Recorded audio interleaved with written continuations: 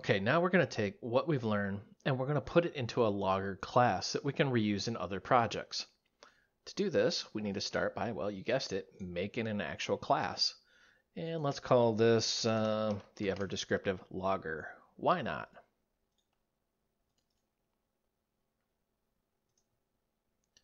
Now we're going to do logger a little bit different. First thing we're going to do is add some includes. Of course, we're going to need Qdebug for this. We also need Qfile, QDateTime.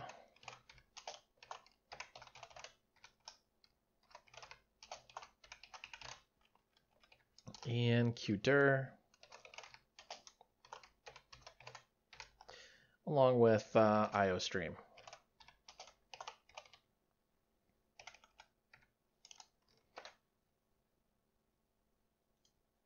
All right, now that we have our class, we're going to make some static items in here.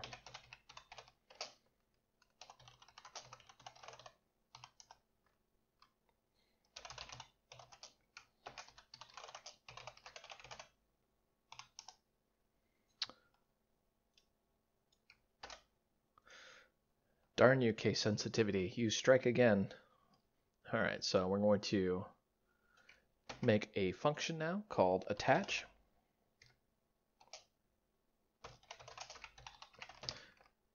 This will allow us to attach the message handler to the static parts of this class. And when I say static parts, it's because we're going to do 99% of this statically, so we don't have to make an instance of it.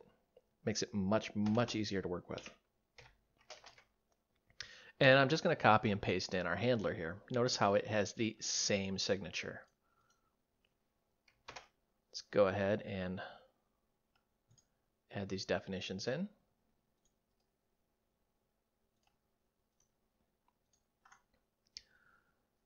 All right, now because we're working statically, we need to set these variables, and we cannot do this in the constructor. So this may look a little weird, but this is how you would initialize a static variable.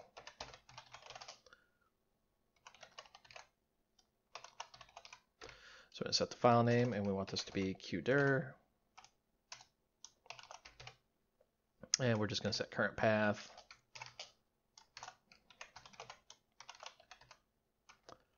Maybe help if I didn't have that in quotes. There we go.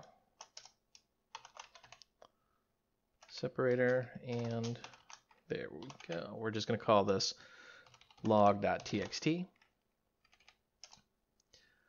Now we want to set our logging value. So we're going to say logger logging. And we're going to set this to false initially.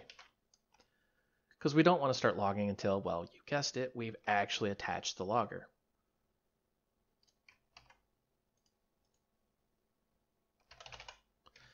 And we're going to make our Q default message handler. Um, just going to copy and paste that from the previous project. Save us a bit of typing here. So once again, all this does is it calls Q, Q install message handler with a null pointer. So it gets just the default handler that Qt uses. All right, now for attach, this is where we're going to start actually logging. We're going to install the message handler.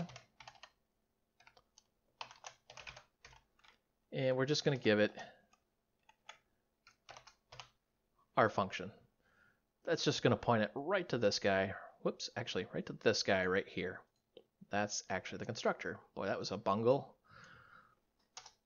And then we're going to say logger logging equal true. So we're just going to set that static variable. So really all we're doing is we're, actually let's just in case, we're going to set logging to true and then we're going to install the message handler and at that point messages will start flowing into our handler here. Now we've got a bit of typing so what we're going to do here is we're going to say if logger logging then we're going to do something. Now, regardless of whether or not we actually process anything, we want to pass this back to the default message handler, which of course we get up here. So if you skip the last video, really what's going on is we get the default message handler, which in this case just prints it out into the standard output. And we're going to say, hey, install our handler, this guy.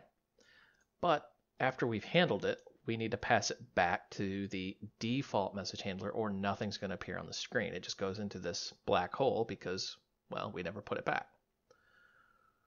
All right. Going to save a bit of typing here through the magic of copy and paste because we already know what this does. So we've just got our switch along with a Q string. See if we can beautify this a little bit. Refractor, eh, it's not letting me do it. Auto indent, there it is. That looks a little bit better. And I'm gonna add Q text stream in here. I always forget to add that for some reason.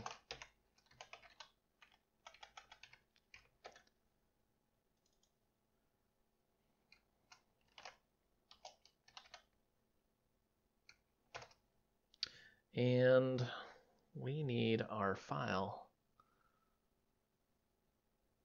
Let's call this Q file, file, and it's logger, I'm sorry, logging file name. Actually, it's logger. Got a little ahead of myself there. Get our static name there.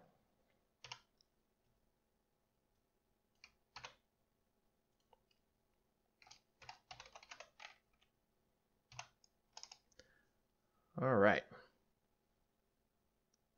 We're going to go ahead and actually crank open this file here.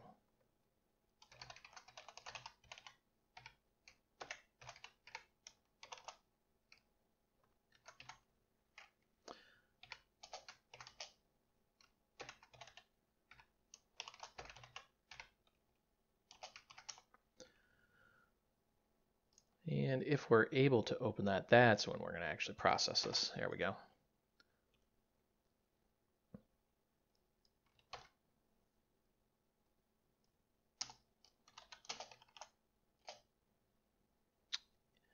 And we've done this before, so I'm just going to grab the code, copy and paste that in, bang.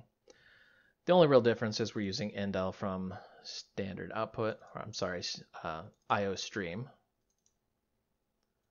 some people like using endl, some people don't. I don't think it really matters either way. I'm sure there's some complexity to it, but I've never really run into anything major. And then we're just going to flush this out and close the file.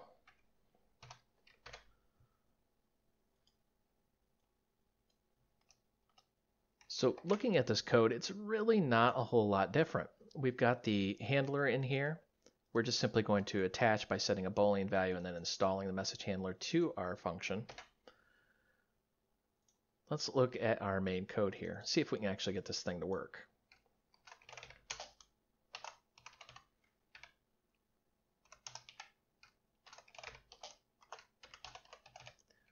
So we're going to add Qdebug, we're going to add our logger,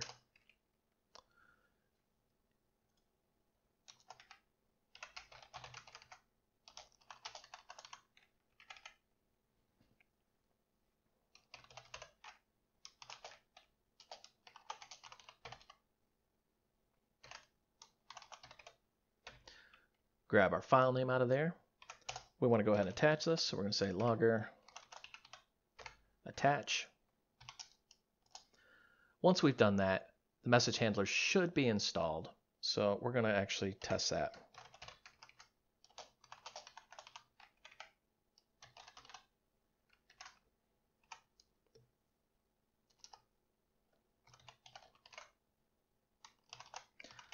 We're going to turn logging off. Whoops.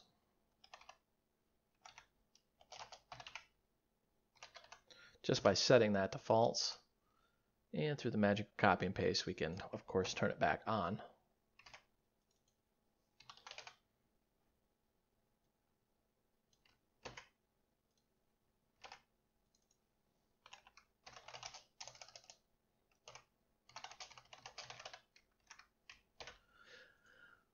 So really this just simply works because we're saying if we are logging So because we're setting that to false, we're just going to skip right over this and let's just say finished.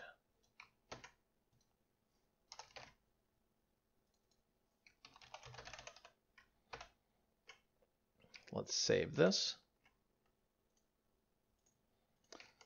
Let's go ahead and run it. All right, so we can see there's our file. We've done a test. Don't log this, even though it's displayed in the console. It's displayed simply because when we look at this, that is if we're logging, but because we're not logging, it just jumps right to the default message handler, which of course just spits it right back out into the console for us and then finished. So let's go check this log file.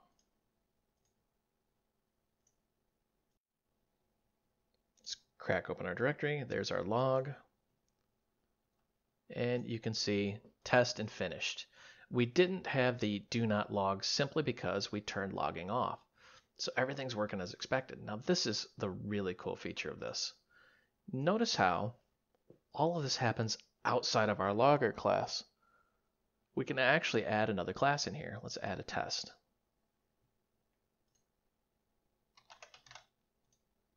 Make this a Q object.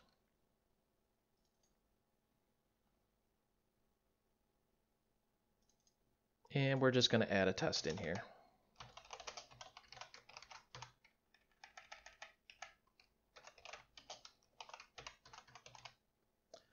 Add QDebug, and you guessed it, really all this thing's going to do is we're going to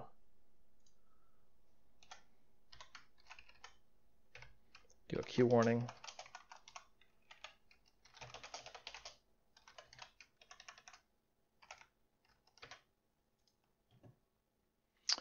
Constructor cannot have a return type. Oh, probably because we named this test. Let's name this something else like testing.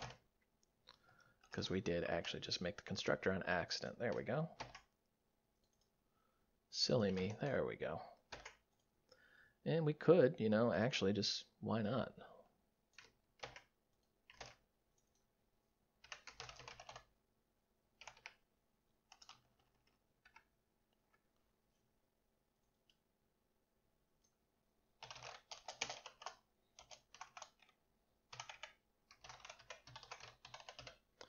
Build our constructor in there too.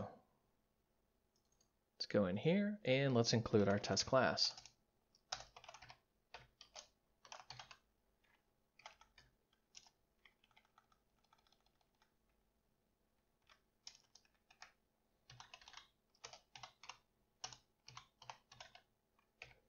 Let's call our function.